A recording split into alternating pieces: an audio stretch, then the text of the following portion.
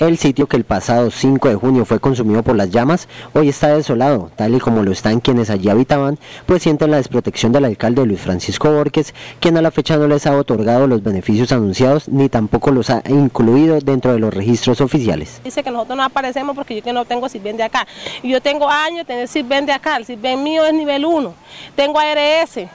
y tengo con qué comprobar eh, que sí tengo todo eso y me dice que no, que no salgo con nadie. A mí se me quemó todo. Yo estoy, mire, estoy viviendo en el club. El presidente de la Junta de Acción Comunal de la zona, Luis Contreras, denunció que pese a que representantes del Instituto de Vivienda de Interés Social de Bucaramanga se reunieron con los afectados, el proceso de censado ha presentado varias irregularidades. Lo que queremos y que estamos pidiendo que se haga es que sea bastante transparente ese, ese proceso, que no se le vaya a dar a una persona que realmente no salió damnificada y que se le y que no se le vaya a dar, y que deje de dársele a una persona que sí fue damnificada. Otra de las personas que lo perdió todo a causa de la conflagración y que desde entonces ha tenido que vivir junto a su familia en una bodega que no cuenta con ninguna clase de servicio público es Ligia Susana Rueda, quien expresó su inconformidad ya que los documentos de identificación temporales que le fueron entregados por parte de la registraduría no son aceptados por las entidades bancarias para reclamar los subsidios de arrendamiento que les fueron prometidos. Pero tenemos el problema de la cédula,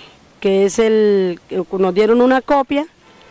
y en el banco no reciben las fotocopias de la, o sea, el,